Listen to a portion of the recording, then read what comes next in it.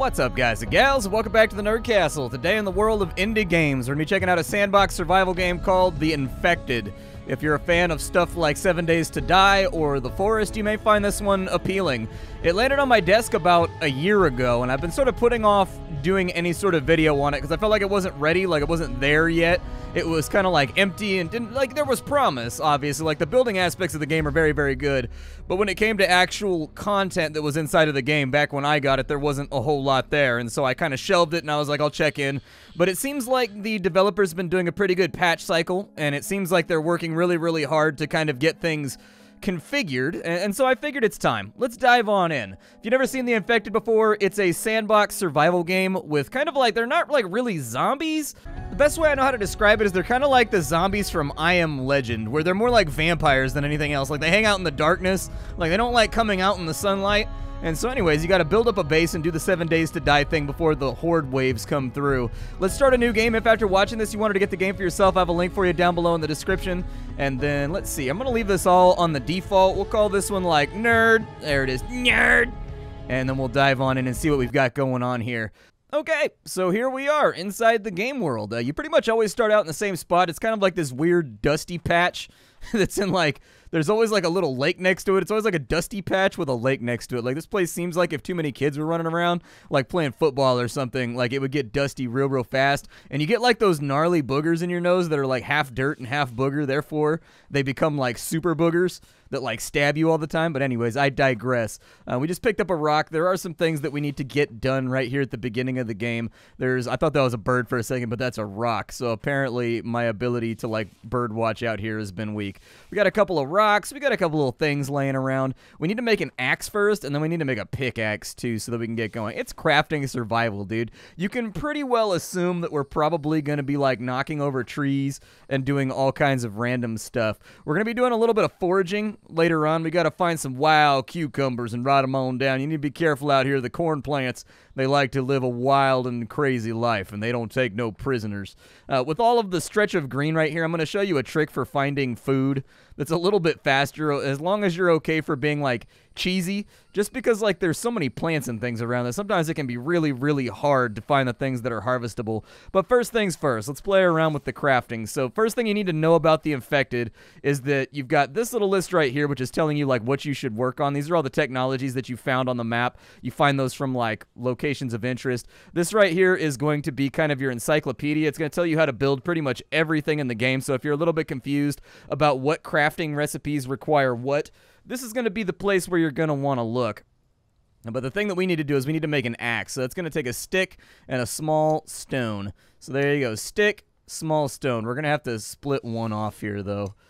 I'm going to drag these over to here. The game is very, very specific about what it wants you to put inside of here. So if it says like you need one cloth, you actually have to take off like one piece of cloth and put it inside of here. If you put like five sticks, five cloth, and like five of something else in there, and it takes one of each of those things, it will not activate sort of the menu, I guess.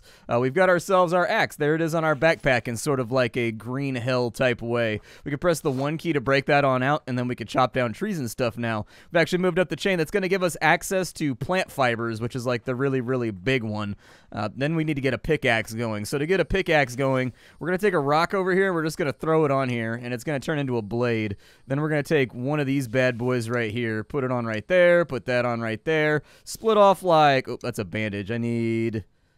Oh, I don't have any plant fibers. Never mind, that's not gonna work. Uh, we're gonna have to chop down a tree so that we can get some plant fibers. I'm sort of like cautiously looking to the hinterland over here in the hopes that maybe I see some food laying around so that I don't have to be like a cheesy bastard on screen. I'm still gonna show you the trick for finding food either way, but you know, I was hoping that I could find one sort of in a vacuum by myself, but dude, the foliage. This is what the foliage on medium, dude. If you put the mo if you put the foliage on like maximum, you will never find a harvestable plant for the rest of your life. So if you're watching videos on YouTube of this game and you're sort of like shocked by how sparse the landscape is, go ahead and ask the content creator like how high they have their foliage up because like the foliage can be really really like thicket nasty in this game like the kind of stuff you would never want to hike through i don't see any plants or anything around but then again they tend to blend in really really well so like it's possible that i'm just overlooking them there's a bird right there he's flying around well that's not really flying that's more walking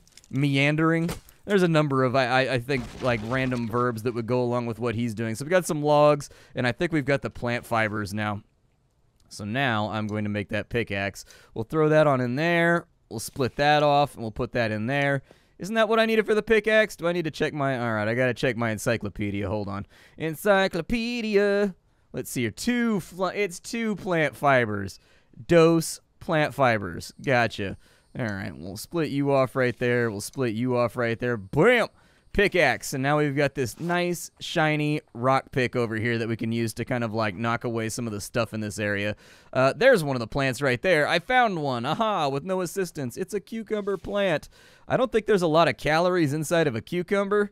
It makes me think. Somebody told me the other day that they get heartburn when they have cucumbers. And to me, like, I was really, really trying to decide, like, it's just water, right? It's like getting heartburn from eating a watermelon. Like, don't get me wrong, I'm not trying to disparage the struggle here, all right? I developed GERD after I had like a I had like a bunch of antibiotics basically. I got like a really bad stomach infection and I had to have like I was on antibiotics for like 5 months and they were like the nuclear option antibiotics and like after that I had GERD basically. Like I got heartburn from like everything because I guess it like wiped out my gut flora or whatever. So like I get it. I'm empathizing in my roundabout way. But like we're we're we're getting to the point here in that like I don't think like watermelon or like cucumber have anything going on inside of them other than like water and skin.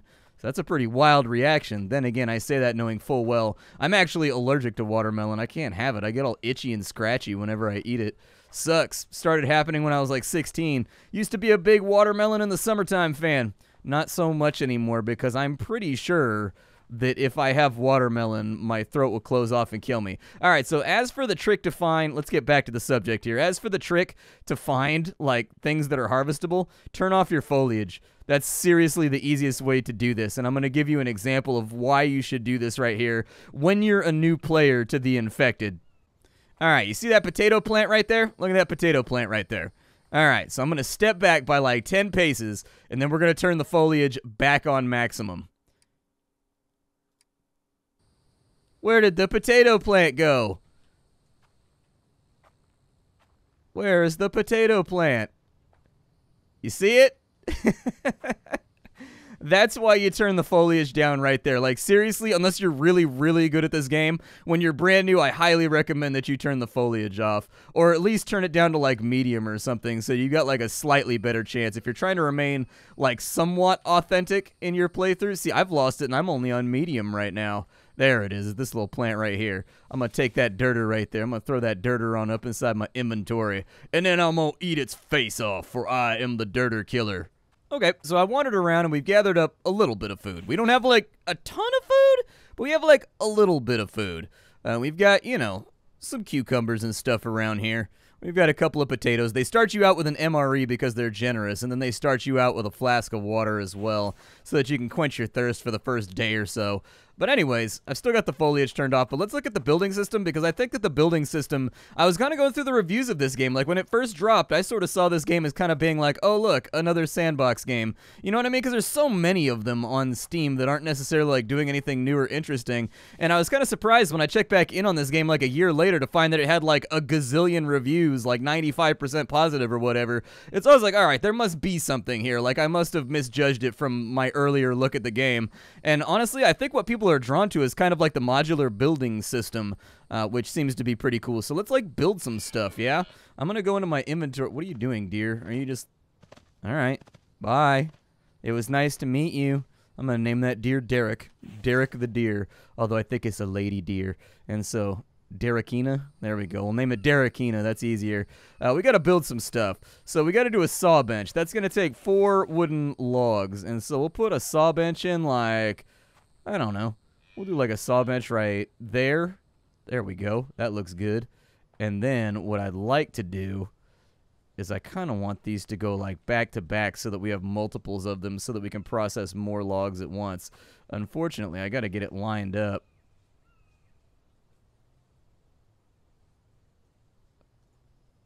That seems about right. That'll do.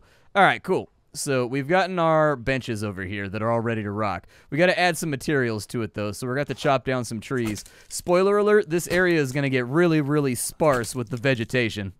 So workbench number one is done. I've just been chopping down trees and kind of looking for resources to get done.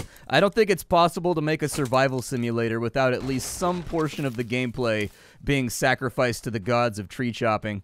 There we go. And then once we've got this thing right here, we just add a log to it, and it'll process it. Like, the boards will just come out here on the side. You don't have to do anything. It's like a magical log press that, like, you don't have to do anything with. Like, it all functions by itself. Uh, a thing to keep in mind is a lot of the resources in this game will despawn if you leave them on the ground for too long. So keep an eye on that, obviously. Uh, we'll go ahead and get these started. However, logs are not one of those items. Logs actually stay on the ground pretty much forever. Uh, if you're interested, I would definitely recommend when you play this game kind of looking up what items disappear on the ground and what items do not. Now that we've got our sawmill up and running right here, I'm just going to keep on processing logs real fast. But we'll chop down another tree or two, and then we'll decide what our next project is going to be. I think a workbench is probably a good place to start. I also think that like we maybe want to follow the tutorial as a workbench. Where'd you go? There you are. I thought I lost you. I thought you were gone forever. Uh, I can pick up these planks right here, but I don't know if I need to pick up those planks. Let's take a look and see what other fun things we can build. So we've got a workbench over here. That's going to take nails. I don't think we have access to nails just yet. It looks like some of these things are going to be a little bit more complicated for us to make. We're going to need access to, to various resources. However, we can get a storage container going, which I feel like is probably a pretty smart idea. We've got weapon racks. We've got a firewood stand. We've got a plank stand. We've got a log stand. Let's go ahead ahead and actually, I would say let's get, you know, one of these guys going right here. There we go. We'll kind of like put in like maybe two of these dudes over on this side. There we go. And so we've got that all nice and done. Basically, I'm just going to blueprint all this and then I'm going to build it. Uh, so we've got that there. Okay, so I've got all of our various stands over here. I've got like a stand that's going to be for our planks. I got stands for logs. I got stands for sticks. And so, you know, it's kind of crooked, but I think it'll be fine. So now I've got to go on like a great adventure to see if I can find enough sticks to actually get this stuff built. It's going to take a little while, so we're going to probably have like a rough cut right here. I really, really apologize. If this episode ends up coming out underneath like the 30 minute mark, I sometimes lose track of like my timestamps. So that that's the thing about playing like survival games. Ooh, corn plant. Nice. Ooh, piece of corn. Uh, one of the things about survival games is they usually necessitate like a lot of edits that I'm gonna have to like move things around and whatnot, and then I'm gonna have to like do lots of lots of like video production type stuff, just making sure all the clips come together and everything. And the side effect of that is that sometimes you lose track of your, you know, your timestamps. It is what it is. So sorry if that happens, but you know, it's it's a thing. I did want to point out probably the easiest way to get sticks is just to harvest logs. You can run around and pick them all up like one hand at a time or like one object at a time, but frankly, that's not an efficient way to gather stickery. If you're looking for a ton of sticks, you just bam. They actually incorporated the system from Green Hell into this game where you can kind of like harvest and sub-harvest items. You can turn like larger things into smaller things basically. And they give you a pretty good assortment out here too. And so this should finish off our storage, I think. There we go. Yeah, dude, and there's our stick stand right there. I think we're we're looking pretty magic right now. We're looking pretty good. The only thing that we don't have is like a firewood stand, I think. I definitely think we're going to need a firewood stand, but other than that, let's take a look. We can actually plop another one down in here firewood stand. And I actually like the modular nature of this game. Like, I, really, really actually like the fact that you just kind of like find stuff off the list and place it. Like, other games have obviously like done that. What is that weird ghosting effect on there? They definitely need to get rid of that. I don't know what that ghosting effect is, but I don't like it. Uh, we'll put that right there, and then we'll go ahead and tab on out of that, and then we'll just harvest this guy, and hopefully it gives us enough sticks to get that done because there's a lot of firewood laying around and honestly I, i'd really prefer not to just like leave it by the wayside. We are gonna have to go hunting pretty soon but i think we'll be okay. Uh, yeah give me the firewoods. We'll kind of just throw those in there dude. There we go. I don't know how much firewood we're gonna need but i assume quite that's a big pig. He could be a big pig too. Oi! All right so anyways a little bit more firewood now that we're done with. Like, please don't sue me, Disney. I can't afford it, dude. I'm a poor YouTuber. I don't. I can't I can't afford expensive AAA litigation, okay? Just let me have this. Let me do this this one time Let me let me reference the thing like a single. I like the density and actually like the depth of the holders too. Like they actually allow you to store a lot of stuff. So I think we're gonna need a spear because we're gonna start looking after our needs as far as proteins go. If I want to make a spear, how hard is it to make a spear? I need a stone blade, five plant fibers, and some sticks. That's not too bad. I think we can make that happen. All right, so there's our recipe right there for our spear. So we should have hunting options now. Yeah, there's our spear. It looks like I can either throw it or I can give him the old little love tap right there. Oof, I'm going to have to do good on this one, aren't I? It looks like the animal aggro radius is pretty far. I don't know how high. I have no idea how high above this thing's head. Where'd the pig go, dude? The pig is a bigger target. Did he just vanish into the ether? Are we dealing with a ghost pig out here? I think we're dealing with a ghost pig, dude. We've got a super magical ghost pig. Oh, look, it's raining now. Okay. I don't know if that's a good thing or a bad thing.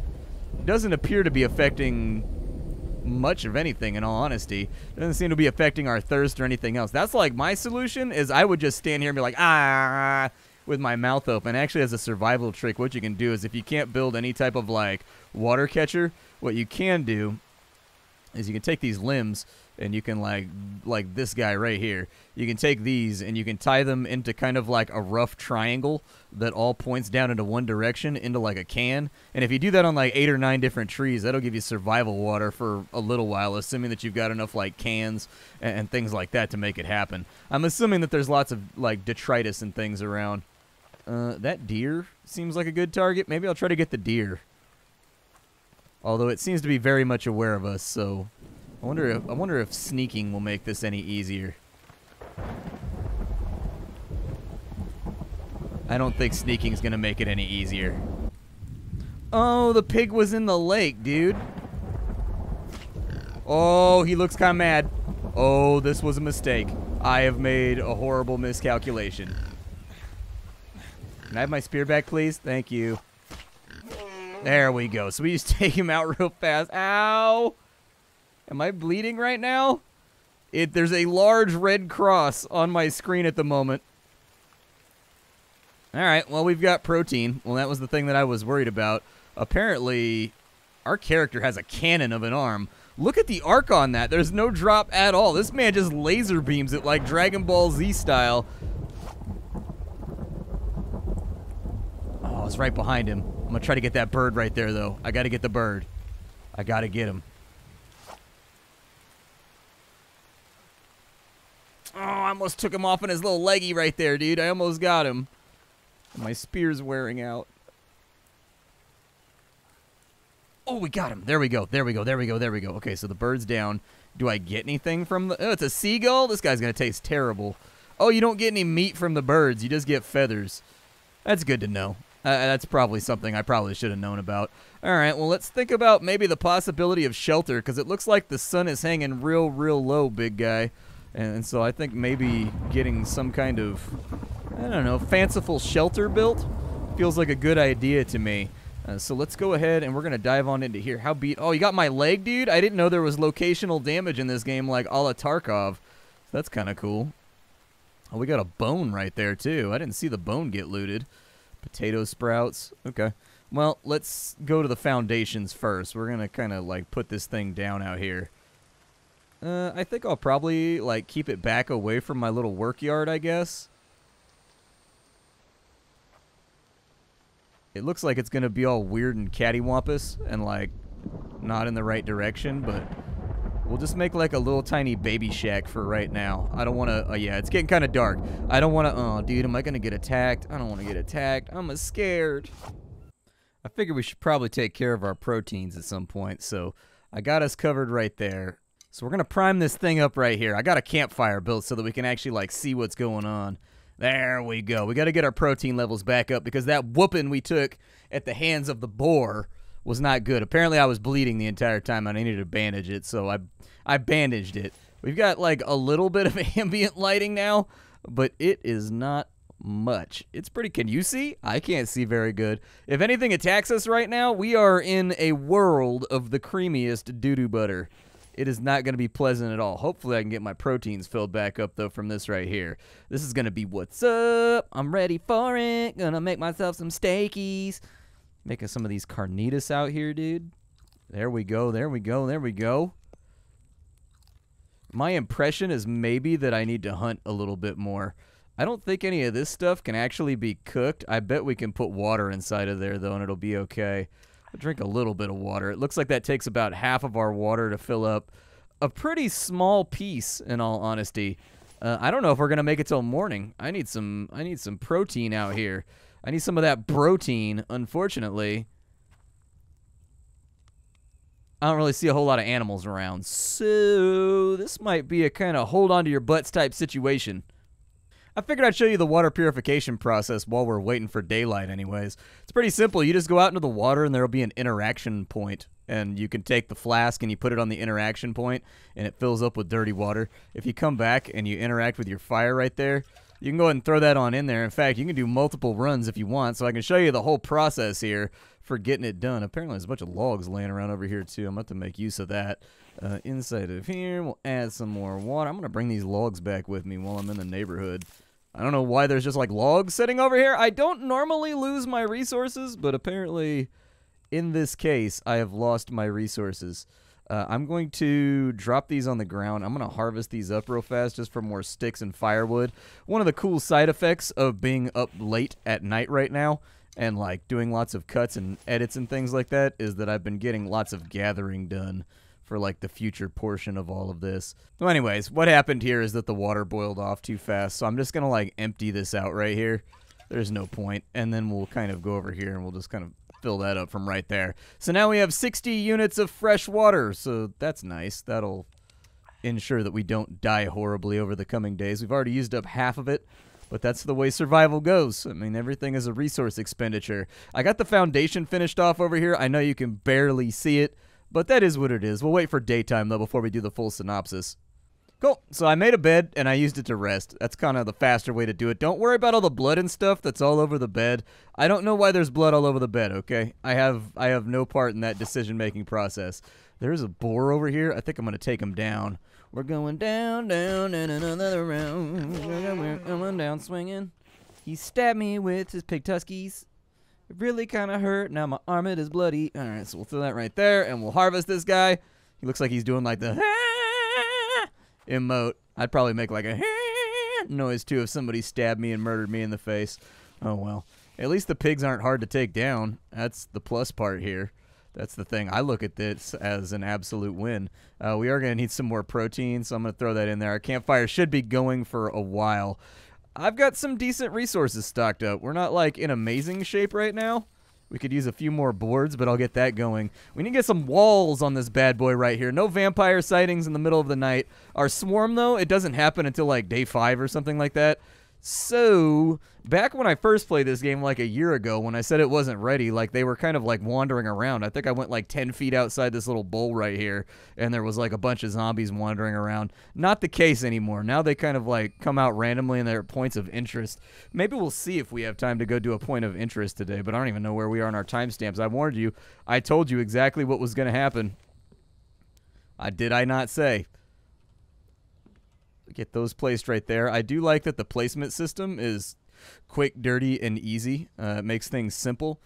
And then we can knock out one of these walls later on and put in kind of like a doorway. There's easy roofing as well, which is honestly like one of the big things that I care about. We need a bunch of logs in order to get these all done.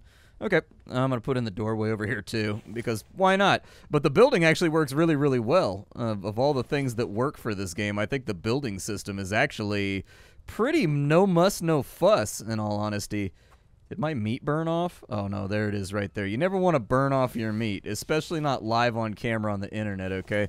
I'm trying to give you guys some real cautionary warnings right now about being a content creator.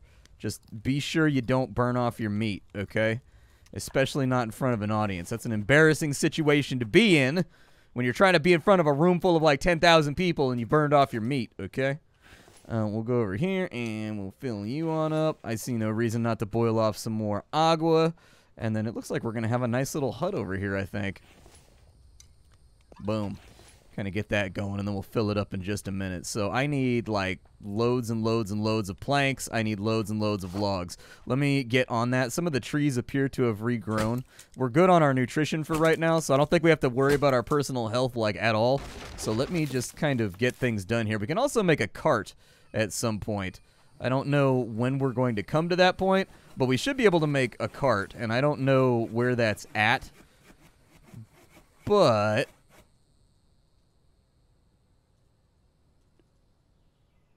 Hey, there's a cart right there, but I need nails for it, so we're going to have to do forging, unfortunately. I've got a stone forge right here.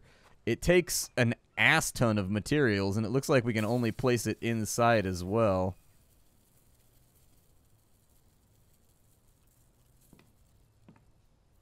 I don't know what that scary noise was. I thought it was a snake for a second, but I don't think it was a snake. I think it's just our fire going out. I think that's what that was. I don't know if it had time to boil off the water. I'll check in a second. Got my last load of rocks all up inside my inventory right now, but I'm walking really, really slow because I never did upper body workouts. But we should have a forge very, very soon. There's our forge right there. Unfortunately, the rock that we just shed was not good enough to get our speed back up to par. Is there a rock storage? That's what I need, is I need, there we go, I need some rock storage over here. You gotta fight, meow, meow, you're right to store some rocks. Alright, so we need planks and nails for that, unfortunately. Alright, well then I guess I'll just chuck all the rocks in the middle of the ground right here. I mean, I was going to try to do this the sophisticated way, but apparently the game don't want to be like that. Fine. Now I've just got a big pile of rocks in the middle of my base. I can get the planks, but I can't make the nails just yet. I think I've got to have forging and whatnot. In all honesty, I haven't really... If we look at this guy right here, like, you can put the copper, like the copper slabs up there, but I don't have access to iron just yet. I've only got copper in this little valley. So chances are, taking a look at the world map right here, I'm going to have to go somewhere else in order to get the iron. It's not exactly, like, noted where that is, but we know that this is copper because we live here, and I've been farming rocks this entire time, and it's given me quite the overflowing inventory of copper, and by overflowing inventory, I mean I've got three. And so anyways, we should be able to do that. But maybe I should focus on finishing up the house. But I feel like we're not going to have time to actually get that done. Damn. As much as I would love to, I think we're just about out of time right now. My name is Splattercat. Thank you for joining me. This is The Infected. We didn't see any of The Infected here today, but I do think that the game is forming up to be a pretty good sandbox builder, if nothing else. There are points of interest around the map. There's probably a number of ways I could have made this video a little bit more interesting. Like, as we go around the map, there's points of interest, so that's obviously a town right there. There's like obviously a town like right here because you can see like the little roads or whatever. But I would assume that like once you get into these little areas, there's blueprints and stuff you can find that move you up the tech tree and like teach you how to make various technologies and whatnot. There's dangerous caves you can go down into. This map has changed a ton since like the game came out. So like when the game came out like a year ago, the map was just like this little square with like no real relief or otherwise sort of like designated areas that had any kind of like geographical figures or whatever. They're working on it. I mean, in the last year, it seems like the developers have made a lot of progress and all the building stuff has moved smoothly. I've had no crashes. I've had no issues, whereas the UI can be a little bit cheap in some spots, like on these menus right here. I do like the backpack and the crafting table type display that they've borrowed from like Green Hell. I do think that that was a smart decision. Um, I do find water acquisition and like resource acquisition to be pretty satisfying. So maybe we'll stream this one. Maybe we'll put it up on Twitch TV so that you guys can check it out a little bit further, and we'll get to see the zombies and whatnot because that's going to be like four or five hours uncut. So, anyways, my name is Splattercat. I sift through the pile to find what's worthwhile in the world of indie games every single day, so you don't have to. Today, up on the chopping block, we have the Infected. If you're worried about the graphics, just be aware that I turned the foliage all the way down so that I could see stuff like sitting around on the ground. The foliage is just so damn thick. Uh, inside the settings, we've got you know there you go. There's your audio split right there. I do like that they give you a few extra options with sound effects, ambient, and all that kind of stuff. As far as video stuff goes, I have the foliage all the way down so that I can see for the purposes of the video and find things to eat and keep myself healthy. But you do have some options right here to play around with when it comes to the post-processing, the shadow textures, all that kind of stuff. Uh, the camera right here, you've got full mouse controls that you can fiddle around with to make things like at your level. And you've got fully rekey bindable keybinds as well, which I agree with. That's fantastic. So anyways, I I will see you all later. Thank you for stopping on in. I'll have something hot and fresh for you tomorrow off the Indie Skillet. And until then, bye-bye, everybody.